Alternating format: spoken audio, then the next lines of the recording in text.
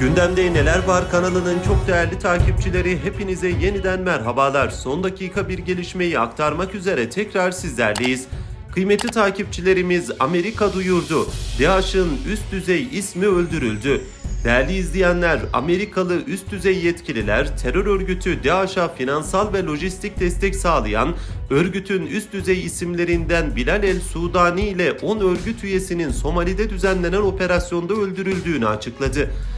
İsimlerinin açıklanmasını istemeyen iki üst düzey Amerikalı yetkili yaptıkları çevrim içi toplantıda Sudani'yi ele geçirmek için dün gece Somali'nin kuzeyindeki dağlık bir mağara kompleksine düzenlenen baskınla ilgili basın mensuplarını bilgilendirdi. Sudani'nin Amerikan ordusunun dağlık bir mağara kompleksinde gerçekleştirdiği operasyon sırasında çıkan çatışmalar sırasında öldürüldüğünü kaydeden yetkililer, operasyon neticesinde sivil ya da askeri bir ölüm olmadığını, yalnızca bir Amerikan askerinin askeri operasyon köpeği tarafından yaralandığını bildirdi. Söz konusu baskının planlamasının aylarca sürdüğünü belirten yetkililer, Amerikan Savunma Bakanlığı'nın geçen hafta bilgilendirdiği Başkan Joe Biden'ın da bu hafta başında operasyona onay verdiği aktarıldı.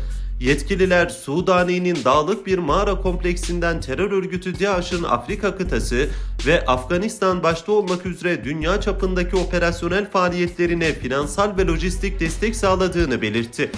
Yetkililer Sudani'nin DAEŞ'e katılmadan önce de uzun bir terör geçmişi olduğuna dikkat çekti.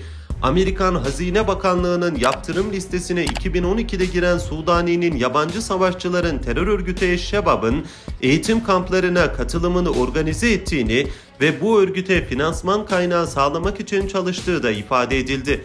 Yetkililer Somali hükümeti dahil terörle mücadele konusunda Amerika'nın diğer önemli müttefiklerini de operasyonla ilgili bilgilendirdiklerini de kayıtlara geçti.